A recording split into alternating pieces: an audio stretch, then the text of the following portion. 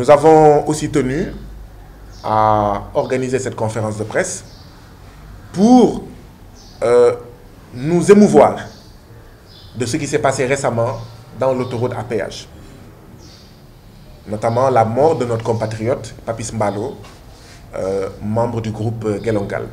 Nous en profitons d'ailleurs pour présenter nos condoléances à, à tout le peuple sénégalais, car quand un concitoyen décède, c'est tout le peuple qui a perdu. Mais plus particulièrement à la famille du concitoyen Papis Mbalo.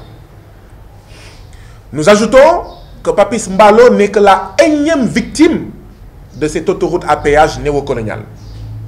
Rappelons notamment qu'il n'y a guère longtemps qu'il y a eu le cas de Gorecham, qui roulait en moto dans l'autoroute à péage et qui a perdu la vie parce que fauché par des vaches qui traversaient l'autoroute à péage.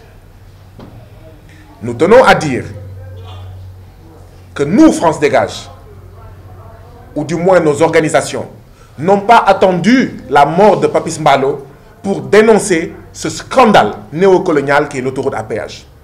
À l'époque, rappelez-vous, Eiffage a organisé un marathon pour tenter de duper, de plumer notre peuple. À l'époque, avec d'autres organisations, nous avions lancé une pétition qui avait été rendue publique pour appeler au boycott de ce marathon. Nous avons été traités à l'époque de tous les noms d'oiseaux.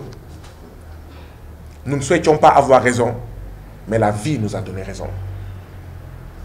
Nous ne souhaitions pas avoir raison de manière aussi dramatique et tragique, mais la vie nous a donné raison de la manière la plus tragique qui soit. En plus d'être un scandale néocolonial où on pille nos ressources à travers les prix de coût qui sont pratiqués dans cette autoroute à péage, non content de cela, cette autoroute à péage fauche quotidiennement des vies d'Africains, des vies de Sénégalais.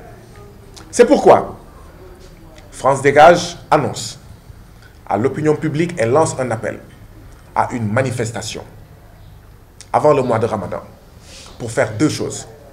Un, boycotter l'autoroute à péage. Deux, lors de cette journée de boycott de l'autoroute à péage, occuper l'autoroute à péage.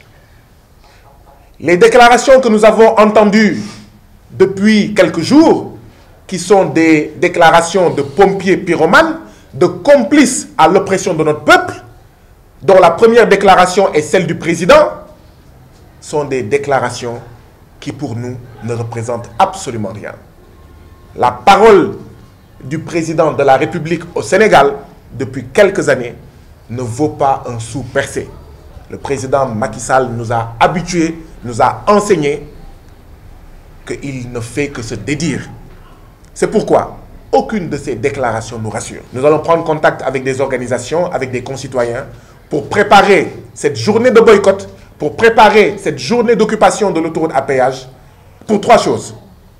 Un, que l'autoroute à péage soit éclairée dans les meilleurs délais. Deux, qu'il n'y ait plus d'animaux en divagation dans cette autoroute à péage. Trois, pour la réduction des prix scandaleux de cette autoroute à péage qui est l'autoroute à péage la plus chère et qui en fait en réalité une autoroute à pillage.